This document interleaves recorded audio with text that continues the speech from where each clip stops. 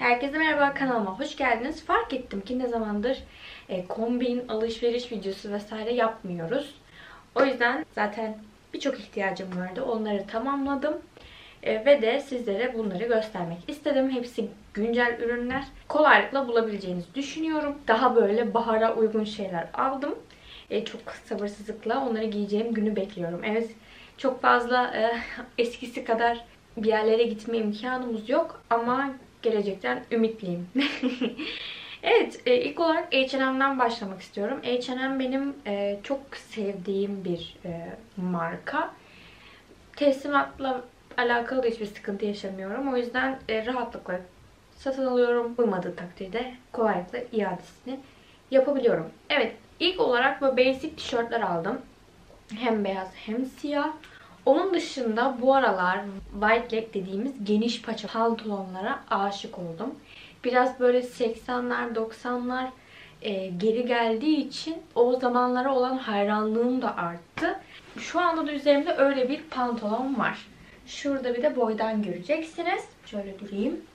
Bayağı rahat bir pantolon. E, bu aralar kilo aldığım için artık 34 beden olmadığım için hemen hemen hiçbir pantolonum olmuyordu. Çünkü genelde pantolonlarım 32-34 beden. Haliyle yeni pantolonlar almam gerekti. Bu da onlardan biri. Beyaz pantolona ihtiyacım vardı. Hem çok güzel oturuyor hem baya bence şık. Bu geniş paçalarından ötürü. Tabii bu pantolonlara doyamadığım için bir de krem rengini ya da taş da diyebiliriz. Evet daha çok taş. Taş rengini de aldım. Bu da aynı şekilde çok güzel. Hemen giyinip geliyorum. Evet giydim geldim. Bu rengi de oldukça şık. Bu şekilde de kombinlemeyi çok seviyorum. Bu tonlar bence ilkbaharda, yazda çok güzel duruyor. İster sneakerlarla ister terliklerle bence çok rahat oluyor. Evet bir sonraki parçaya gelelim. O da bu kot upuzun yelek. Böyle kenarlarında yırtmacı var. Çok şık. Yani şu an bu pantolonla aynı renk değil. Daha çok beyazlarla ya da kotlarla al, giymek için aldım. Ama yine de size üzerimde göstereceğim. Bence çok şık. Hem çok rahat, hem çok şık, hem de çok üşümezsiniz. Özellikle akşamları daha serin olduğu için bence rahatlıkla tercih edilebilir. Bir sinek videoya dahil olmak istedi. Bütün kombinleri bence böyle basic, tek renk diyelim tişört ve pantolon tercih ettiniz. Onun üzerine bu yeleği atarsanız yeter yani. Bence direkt ayrı bir hava katıyor. Evet yaz demişken bir şey daha aldım. Bunu gerçekten Türkiye'de sahili takmak çok isterdim ama bu yaz pek gelebileceğim gibi durmuyor. Ama ben yine de görünce almak istedim. Bu bildiğimiz e, hasır şapkaların biraz daha farklısı. Daha e, balıkçı şapkalarına benzer gibi yapmışlar. Ama bence bu şekilde de tercih edilebilir. Tabii şu anda saçlarım biraz dağınık olduğu için güzel durmuyor ama bayağı rahat. Tam kafamın ölçüsünde. Çünkü benim kafamın ölçüsünde e, şapka bulmak biraz zor. Genelde şapkalar bana büyük olurlar. Ama bu gerçekten tam oldu. Bayağı güzel sarıyor. Bedenin neymiş bunun? Small 54 beden. Buna da bakabilirsiniz. Evet sonra H&M'den bir de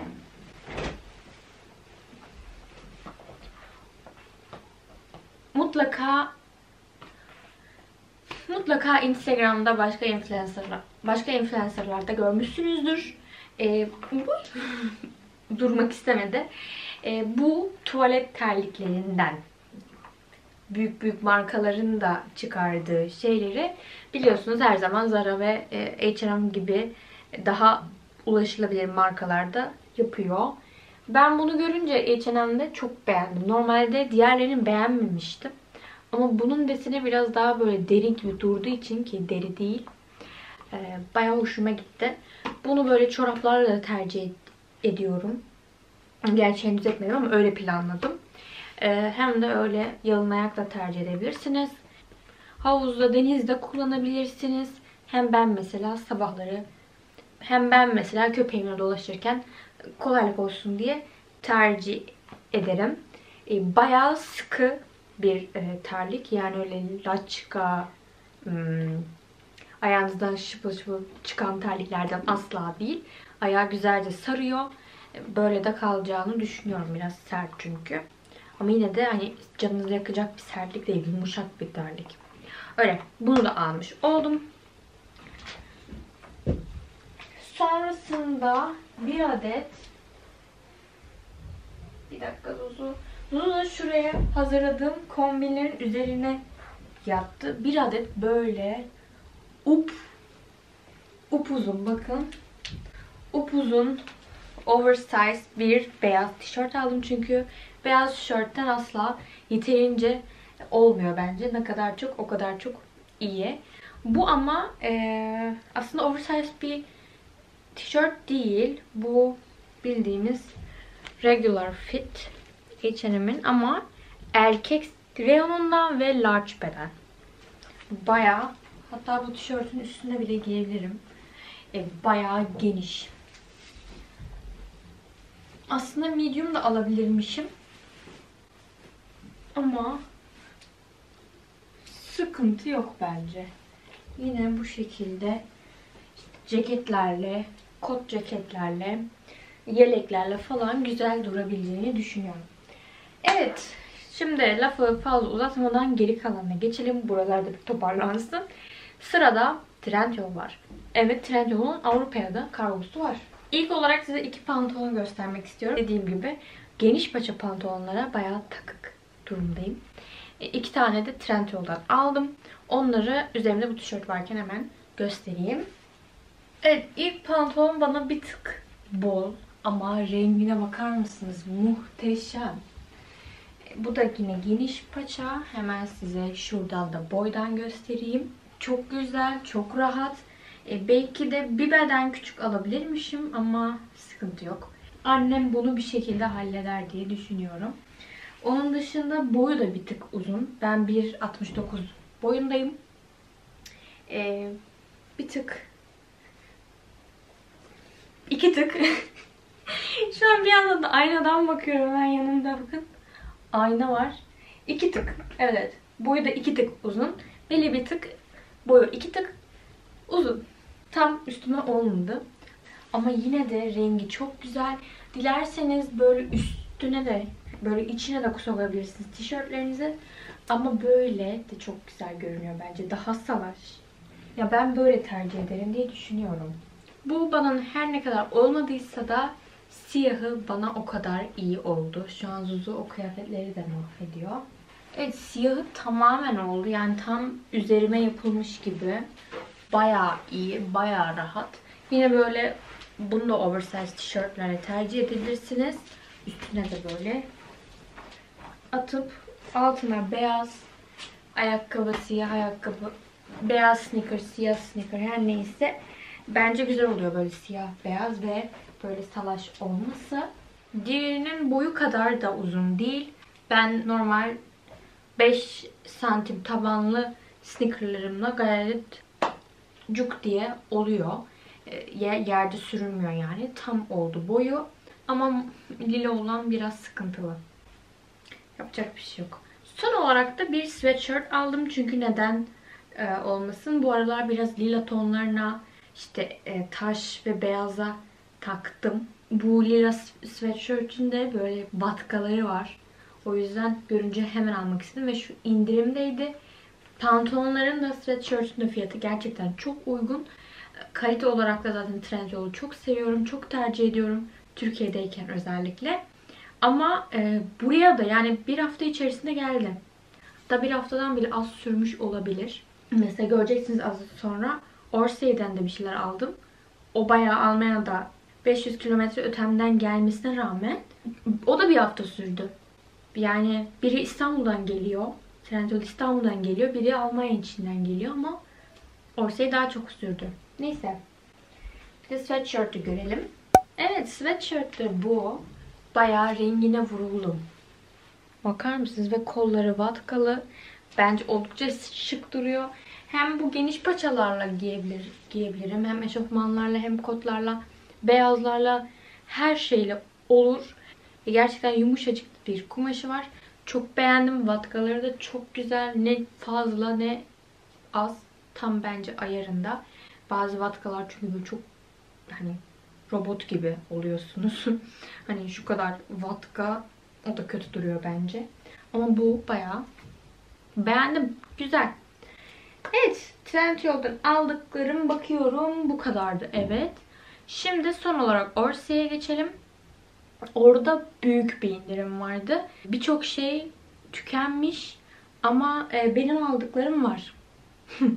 Şanslıyım. Ben size her şeyin bilgisini bilgi kutusuna yazacağım. O yüzden telaşlanmayın. Lütfen bilgi kutusuna bakın. Evet şimdi nefes nefese kaldım ama Orse'ye geçelim. Evet. İlk olarak bu pantolonla geldim. Bu tonlarda bir pantolonum hiç olmadı. Böyle açık açık gri bir pantolonu hiç sahip olmamıştım. Dediğim gibi kilo aldığım için birçok pantolon olmadığı için biraz pantolon stoğu oldu gibi oldu yani. Öyle bir alışveriş. Ama e, bunlarla kalite olarak iyi göründükleri için uzun bir süre idare edebileceğimi düşünüyorum. Güzel oturan bir pantolon. Bayağı da stretchy. Evet. Belden bağlayabiliyorsunuz ama dilerseniz bunu çıkarıp kemerle takabilirsiniz. Onun dışında bayağı iyi oturuyor. Bunu da her şeyle giyebilirsiniz ya. Bayağı kurtarıcı bir pantolon. Her şeyle güzel duruyor. Hem spor hem şık. İstediğiniz gibi kombinleyebilirsiniz. Yani bayağı kolay bir pantolon. Güzel oturuyor. Dizden sonra hafif böyle yarım İspanyol gibi. İspanyolunu da çok abartmamışlar. Biraz straight jean ile İspanyol paça arası bir şey. Ama güzel.